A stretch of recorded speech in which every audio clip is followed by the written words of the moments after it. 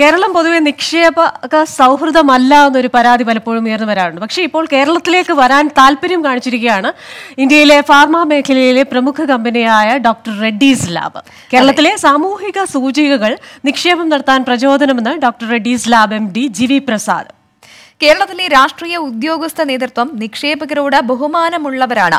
മുഖ്യമന്ത്രി ഉൾപ്പെടെയുള്ള നേതാക്കളുടെ ലാളിത്യത്തിൽ മതിപ്പ് തോന്നി. ലൈഫ് സയൻസ് മേഖലയിൽ നിക്ഷേപം നടത്താൻ ആലോചിക്കുന്നതായും ജി വി പ്രസാദ് ട്വന്റി ഫോറിനോട് പറഞ്ഞു.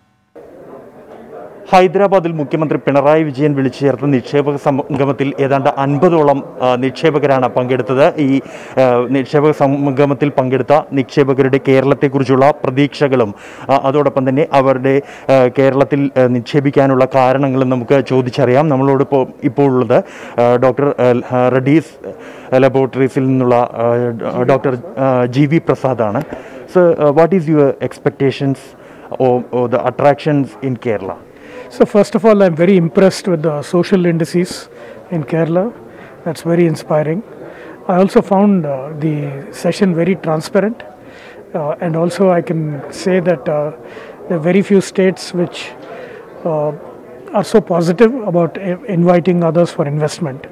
Uh, I'm also very uh, impressed by the simplicity of the leaders, including our CM, Chief Minister, who just came in. He talked about inclusive development, he talked about sustainable development, he talked about creating employment opportunities. So, in a way, I'm very impressed by the political leadership and the bureaucracy here. I hope we can do something there in the biotech park or in the life sciences area. So you are moving forward to I can't say that, I'm thinking of it. Uh, it certainly looks attractive. I have to go back and consult my company's leadership and come back. What will be your main concern or the major concern while investing in Kerala? So, one of the things that people have talked about is the cost of resources, cost of uh, land, and things like that. But the that by itself would not be a big uh, limitation. The availability of skilled manpower, I know Kerala has a lot of skilled manpower, very high literacy rate, but also the best people go to all over the world.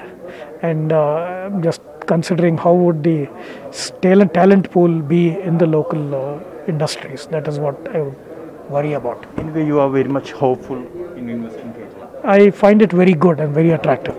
Thank you. Thank you. Kerala കേരളത്തിലെ നിർമ്മാണ ചെലവാണ് പ്രധാന ഒരു വെല്ലുവിളിയായി ready doctor Reddy's laboratories കാണുന്നത് അതേസമയം കേരളത്തിൽ നിക്ഷേപം നടത്താൻ ആകും എന്ന വലിയ പ്രതീക്ഷ തന്നെയാണ് ഈ കമ്പനി പങ്കുവയ്ക്കുന്നത് ആശിഷ് മട്ടുവിനൊപ്പം ബൽറാം നിറങ്ങാടി 24 Hyderabad.